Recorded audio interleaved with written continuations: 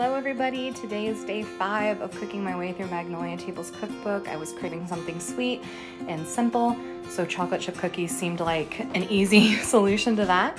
So the first thing you're gonna do is take two and a half cups of all-purpose flour and pop them into your little container, whatever you're mixing in. And to that you're going to add one heaping teaspoon of baking soda and also half a teaspoon of sea salt.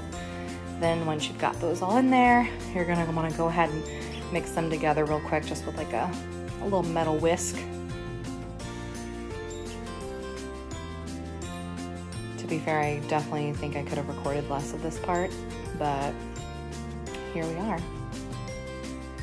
So after this in another bowl, you're going to get your two cups of packed light brown sugar with eight tablespoons or one stick of salted butter at room temperature. Now, I don't have a stand mixer because the one I want is ridiculously expensive. Like, I'm gonna have to start an OnlyFans to justify buying that mixer. So I fast forwarded through all of my pain and suffering to when the mixture was the way it was supposed to look after brutal hours of arm work. so this is what it should look like when the butter is mixed in with the sugar. And then after that, you're gonna go ahead and add two eggs. God, I don't know why I put my thumbs in there. I hate my koala paw thumbs, but I can't get it out, so. Also apparently can't crack eggs, so eesh, we're learning along the way. So two large eggs up in that bowl, and you're gonna go ahead and mix those together.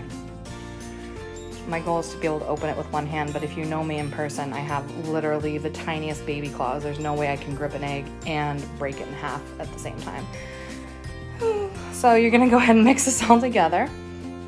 Um, again, I think I went ahead and like cut off because I need to cradle this thing in my arms and show it who was boss and really like dig in there to get the consistency I wanted. So I think we're about to have a, a clip come up of where I like cut out to that.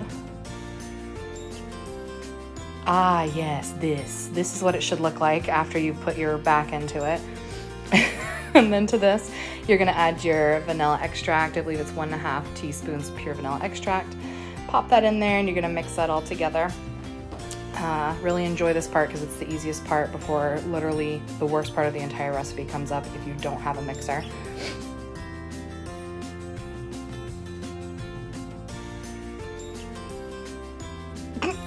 My heart hurts just thinking about the next part. So then you're gonna add your dry ingredients. Uh, dry, I put it in batches because I don't have a mixer and it's messy.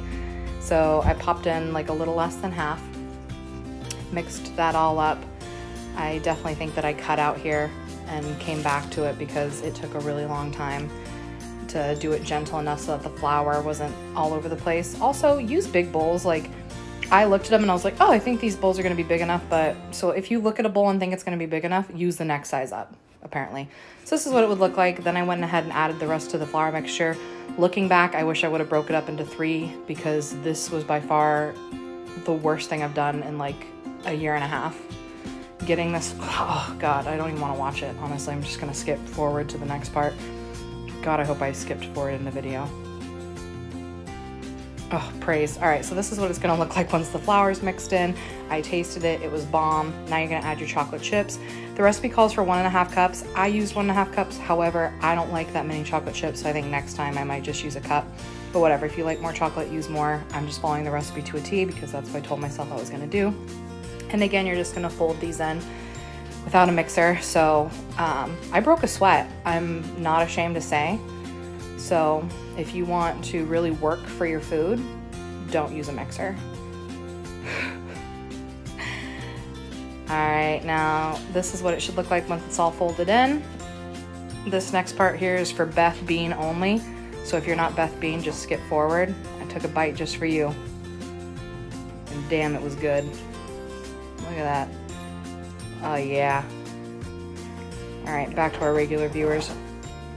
So you're gonna cook these in the oven at 350 for about 10 to 11 minutes. I had to do mine in batches. I'm on batch two right now, so I did about eight per baking sheet. And you wanna do it till they're like light golden brown on top. I think 11 and a half minutes is a sweet spot. Hank, why are you crying? Don't cry. So 11 and a half minutes is a sweet spot. Then you're gonna pop them out of the oven. You're gonna let them cool for a minute on that sheet, and then you're gonna go ahead and transfer them to a little cooling rack if you have one, or just leave them on there, and then you're ready to go. Pour a glass of milk, almond milk, oat milk, whatever kind of milk you prefer or water if you're a psychopath. And this is them in the oven. Thanks for watching.